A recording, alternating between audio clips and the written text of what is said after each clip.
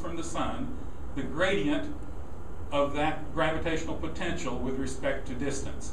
So the same thing that causes the force to change the direction changes the clocks to change the bias direction so that it still looks like my clocks still looks like the speed of light is c on the earth. A neat effect, but they claim it's not even there. And they claim it's not there because of ILTs.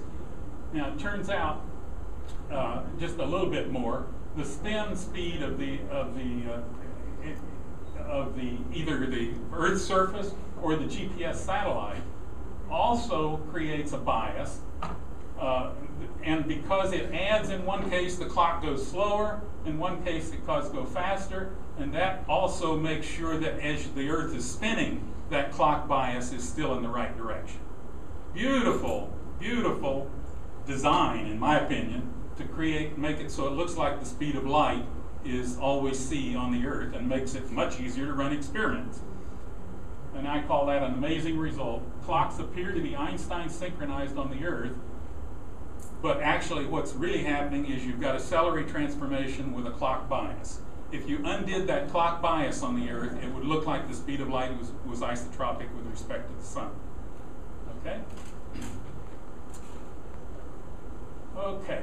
Um, couple papers that say here's how to go between the sun's frame and the Earth's frame. Uh, use a Lorentz transformation. Actually, they don't use a Lorentz transformation. It won't work. But they do map the clocks across without a bias term. But that's got a problem. Let's look at that problem. Um, that claim to, to do it the way they do it would actually cause the physical clocks would have to run at two different rates. One rate for the Earth and one rate for the sun so if the gravitational potential doesn't do what I just said it does, if the ILTs really canceled out that gravitational effect, then we'd have to have clocks running at two different rates in two different frames. I say that that's rather illogical. Uh, you could, in fact, perhaps do something like that if it weren't cyclical, but a cyclic difference just cannot occur in two clocks running at the same rate. Okay? Um, another interesting thing that turns out, uh, you know, I, I assume I pretty much all of us, I think, agree that a clock runs slower when it's moving faster. But a lot of people seem to question the length contraction effect. Well, if mass increases with velocity, which I think most people agree with, the inertial mass increases with velocity, then it turns out, just like that clock effect, when the speed adds, my inertial mass has increased, and if the conservation of momentum is to apply, that means I go a little bit slower on the top. It means I go a little bit faster on the bottom, but the Earth keeps moving at the same rate, so I get some length contraction in the orbit. Now it amounts to 10 centimeters, roughly, at GPS orbital height. So it's not very big. In fact, it could be lost in the noise of the measurements in most cases but nevertheless, it's theoretically there, and it's and it, it had, if you believe in mass increase with velocity, you've got to believe in length contraction.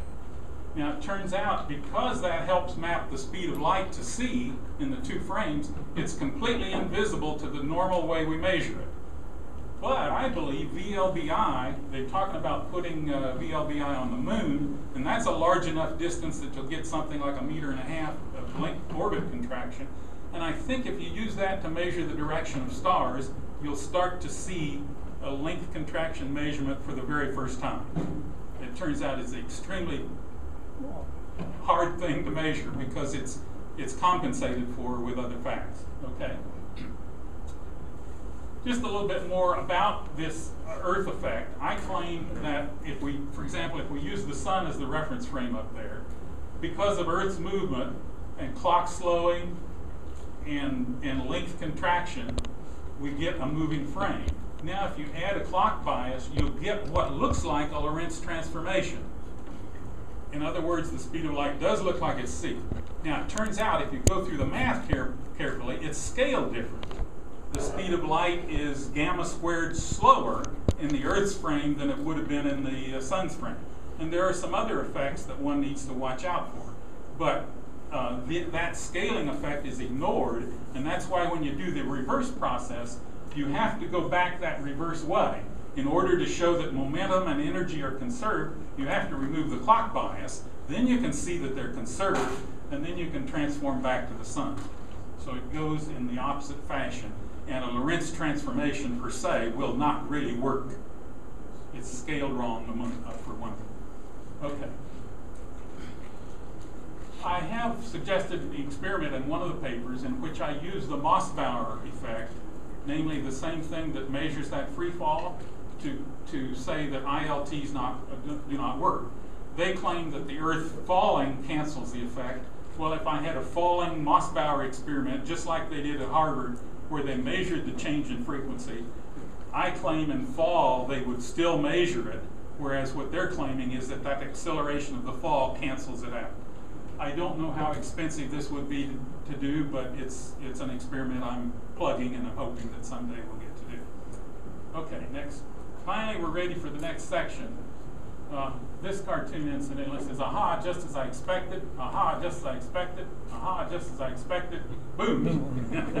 so, so uh, some things we don't expect. We're talking about the conservation of energy, the gravitational potential effect, and some velocity effect in turn, an unusual velocity effect uh, in my estimation. Okay? I say there's some huge implications of that first thing we derived, namely that the energy, radiant energy, does not increase when it's falling. And one of the things that that, that says is gravity doesn't act on electromagnetic radiation.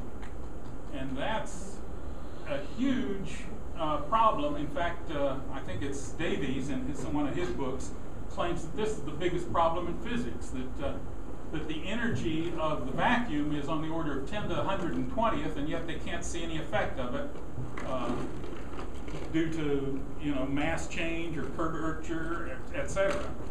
Uh, and this kind of solves that problem because it says electromagnetic energy is not acted on by gravity directly. Uh, and I say if the energy level of electrons changes with potential, then I think the rest mass energy must change with gravitational potential as well.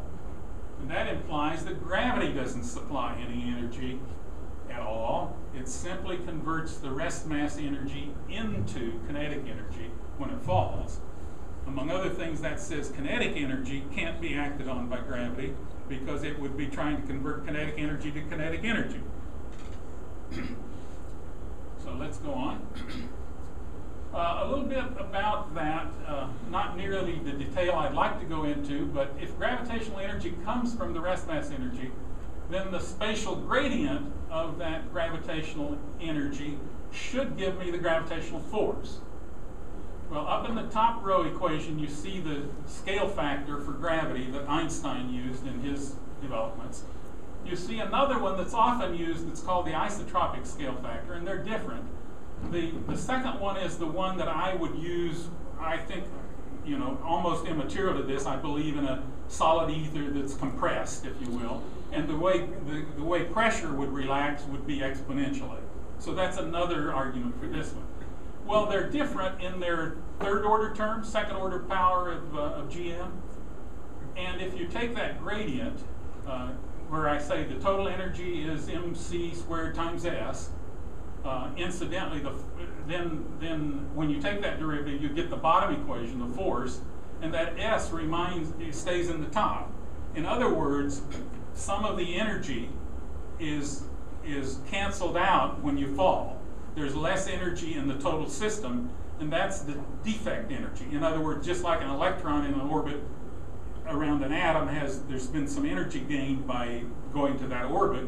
Same way, this would argue that when a when a, you drop an orbit, there's less energy uh, total available. Well, it turns out if you take Einstein's scale factor and take that same derivative, the S winds up in the denominator, saying that the force gets stronger instead of weaker. Uh, but if the force gets weaker, like we claim, you automatically have no black holes because it gets weaker and weaker as the gravity gets stronger and stronger. I don't think I put it in here, but it also explains the anomalous redshift that you see from some of the dark the blue stars that have never been explained. And Arp, in one of his books, Seeing Red, talks about that mismatch uh, some. So let's go on. Uh, implications continued, uh, backup one, I think.